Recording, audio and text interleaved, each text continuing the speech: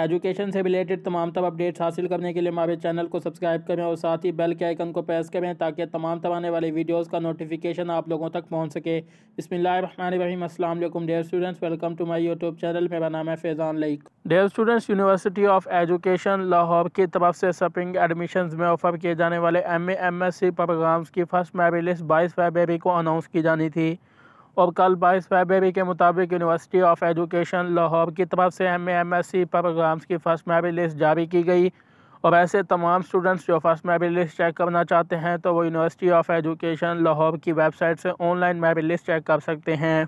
आप लोग वेबसाइट को जैसे ही ओपन करेंगे तो आप लोगों को स्क्रीन पर नोटिफिकेशन मिल जाएगा। तो आप लोगों ने मेरिट लिस्ट के ऑप्शन पर क्लिक करना है। क्लिक करने के बाद आप लोगों के सामने तमाम मेरिट लिस्टें शो हो जाएँगी।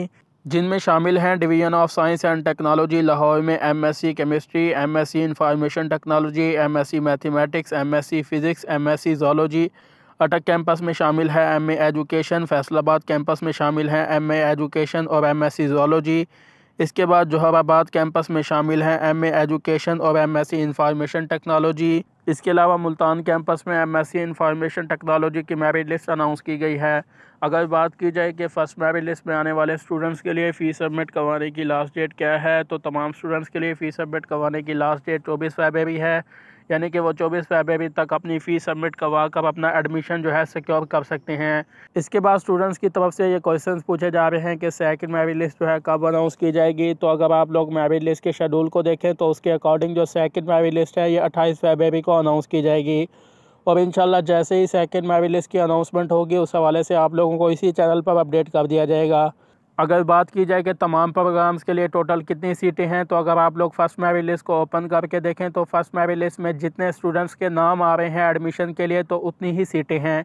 जैसे मैंने आप लोगों के सामने एमएससी केमिस्ट्री की मेरिट लिस्ट ओपन की हुई है तो इसमें मेरिट पर टोटल सिक्सटी स्टूडेंट्स जो है एडमिशन के लिए कंसिडर किए गए हैं। तो इसका मतलब यह है ये है कि इस प्रोग्राम्स की टोटल सिक्सटी सीटें हैं। इसी तरह सेकंड मेरिट लिस्ट में उतने ही स्टूडेंट्स एडमिशन के लिए कंसीडर किए जाएँगे, जितने फ़र्स्ट मेरिट लिस्ट में से स्टूडेंट्स एडमिशन सिक्योर नहीं करेंगे। यानी कि फ़र्स्ट मेरिट लिस्ट में से जो स्टूडेंट्स फ़ी पे नहीं करेंगे या एडमिशन नहीं लेंगे या इसके अलावा किसी और प्रोग्राम में एडमिशन ले लेंगे तो उन स्टूडेंट्स की जो सीटें हैं, वो खाली हो जाएँगी और उन स्टूडेंट्स की जगह नई मेरिट लिस्ट लगा कर नए स्टूडेंट्स को ऐड किया जाएगा। और जितने स्टूडेंट्स एडमिशन सिक्योर नहीं करेंगे, उतने ही स्टूडेंट सेकंड मेरिट लिस्ट में ऐड किए जाएँगे। इसके अलावा मेरिट लिस्ट के रिगार्डिंग अगर आपका कोई भी क्वेश्चन है तो आप लोग कमेंट करके पूछ सकते हैं। आप लोगों के तमाम सवाल के आंसर दिए जाएँगे। मज़ीद हमारी अगली वीडियोज़ आने तक अपना ख्याल रखेगा अल्लाह हाफिज़।